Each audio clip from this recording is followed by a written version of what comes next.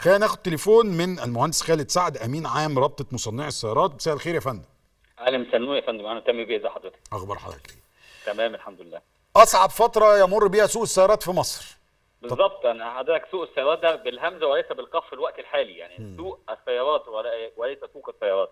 دلوقتي الوضع بقى صعب جدا جدا جدا لأن بقى بيعاني من عده أمور كتيرة جدا حصل تخبط. وطبعا ده مش سوقنا لوحدنا يعني مش مش مصر فقط ده على مستوى العالم كله. إحنا عندنا مشكلة كبيرة جدا دلوقتي على مستوى العالم. يمكن حضرتك حضرتك حضرتك طلعت تصريح مهم جدا اتفقت معاك فيه. مش وقت تغيير عربيات دلوقتي استنى شوية. تمام أكيد طبعا. إحنا لازم كلنا نتعاون مع بعض. يعني هو مش هو من مش مصلحتي زي ما حضرتك أكدت في المقدمة إن مش مصلحتنا نتكلم نقول للناس ما تشتروش عربيات دلوقتي. بالعكس أنا مصلحتي إن أنا أطلع أقول للناس لا اشتروا الحقوا قبل آه، قبل عربيات ما تزيد. لا أنا بالعكس بقول للناس خلينا نتفق مع إن إحنا بنعمل لصالح بلدنا أو صالح اقتصادنا.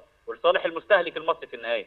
لأن النهارده أنا لو إحنا التزمنا كلنا الصمت وقفنا في هذه الأزمة عشان نعالج الأزمة إن إحنا نشوف إحنا رايحين فين الأول ونحاول نشوف احتياجاتنا نعالج أمورنا وبعد كده نبتدي نطلع مع بعض. نشوف إحنا محتاجين نصنع محلي إحنا محتاجين نستورد عربية إحنا محتاجين قطع غيار محتاجين إيه بالظبط عشان نقدر نواكب الأزمة ونعديها. التجميع المحلي وخليني أرجع مع حضرتك كده في جزء يمكن من كام يوم شفنا خبر آه، آه، آه، فتح أو تسهيل استيراد قطع الغيار والمصانع اللي بتصنع أو بتجمع إجراءات أسهل في حركة الاستيراد أو حركات الجوابات الاعتمادية أو الإجراءات بتاعة استيراد آه، المكونات بتاعتهم هل التجميع المحلي ممكن يبقى فرصة إن إحنا السوق يتحرك شوية لحد ما المصنع الأوروبي يقدر يغطي احتياجاتنا من العربيات؟ ده حضرتك هو هيساعد مش في تغطية احتياجات السوق المحلي فقط هيساعدني كمان في إن أنا النهارده لما أصنع عربية هغطي بيها احتياجات السوق المحلي وأقدر أصدر منها للأسواق المجاورة سواء أفريقيا أو الشرق الأوسط اللي بناء عليها أستورد العملة بدل ما كنت أنا بصدر العملة عن طريق العربيات المكمله الصنع نقطة مهمة حضرتك قلتها جدا بس أنا عايز أسأل سؤال حضرتك إحنا عندنا المصانع بتاعتنا اللي بتجمع عربيات في منهم حاجة بتصدر في حوالينا؟ في بعض طبعا المصانع بتصدر لل- للاتوبيسات لأفريقيا تقريبا صح؟ أفريقيا آه وبنصدر اتوبيسات ونجحنا كتير جدا في إن إحنا نقدر نصنع عربيات وأتوبيسات كهربائية كمان في الوقت الحالي آه طبعا. فبنقدر نصدر فإحنا يعني لا بالعكس إحنا عندنا فرصة دلوقتي كبيرة جدا إن إحنا نغطي احتياجات السوق المحلي وزي ما قلت لحضرتك نصدر منها للأسواق اللي محتاجة اللي هي مش قادرة زي بتعاني من زي حالتنا من إحنا مش عارفة تستورد عربية كاملة الصنع هقدر أصدرها لها أنا وآخد أنا أستورد العملة منها اللي تغطي احتياجات السوق المصري من العملة الأجنبية. هل في زيادات تانية متوقعة؟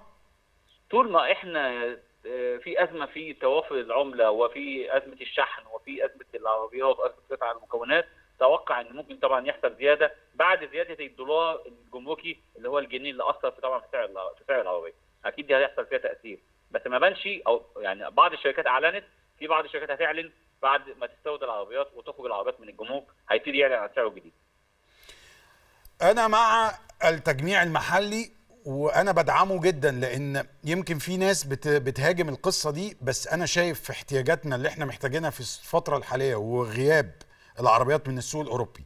لو طلعنا بعدد كويس جدا من التجميع المحلي في بعض الشركات اللي بتجمع عندنا في مصر تغطي احتياجاتنا ونقدر إن إحنا نطلع نصدر بره أعتقد هتبقى خطوة كويسة جدا.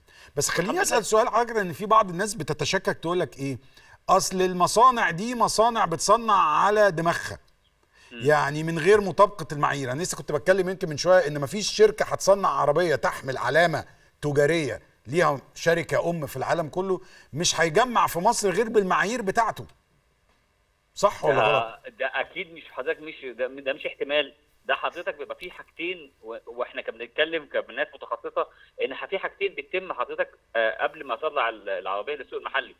يا إما في team كامل من الشركة المصنعة العالمية team موجود في مصنعك بيراجع وبيتابع لحظة بلحظة وخطوة بخطوة وبيعتمد لك الخطوات اللي تمت اللي بيديك عليها final approval إن العربية أو الموافقة النهائية إن العربية تطلع في المواصفات بتاعته لأن دي. معايير غير إن أنت حضرتك بتاخد موافقات وشهادات من المنتج بتاعك قبل ما يطلع للسوق المحلي. لأن النهارده ما ينفعش أنا بستورد مكون وبجمع عليه مكون محلي وبناء عليها بيتابع معايا جزء بجزء اللي تم تصنيعه وبيعتمده لي اللي بيديني عليه موافقة نهائية بعد العربية بتبقى كاملة وبعد ما تخرج العربية من المصنع وقبل ما يتم تسليم العميل يتم مراجعتها تاني واخد عليها موافقة اللي بناء عليها أسلمها للعميل ولا ما أسلمهاش للعميل؟ لأن هي حامله المنتج حامله العلامة بتاعته ما ينفعش يطلعها كل واحد بمعايير خاصة تخص المصنع ده لا ده هو لازم تطلع مطابقه للمواصفات اللي تم استصدارها من الع- شركة مصنعة في العالم. نتمنى الفترة الصعبة دي تعدي. حضرتك متوقع يرجع سوق السيارات ينتعش تاني إمتى؟ أتوقع إن إحنا لو اهتمينا بتعميق الصناعة المحلية وإن إحنا دعمنا السوق المحلي أتوقع إن في الربع الأخير من السنة دي يبتدي يحصل انتعاشة تاني للسوق لأن هيكون بدأت الناس تعرف تستورد المكونات هيبقى عندك امكانية إن إنت تصنع فعلى الأقل يبقى أنت عندك من ثلاثة لست شهور عشان الناس تبتدي تحس تاني بالتأثير الإيجابي في سوق السيارات. نورتنا وشرفتنا. ده شرف لينا شكرا ليك يا فندم. مهندس. خالد سعد أمين عام رابطة مصنعي السيارات.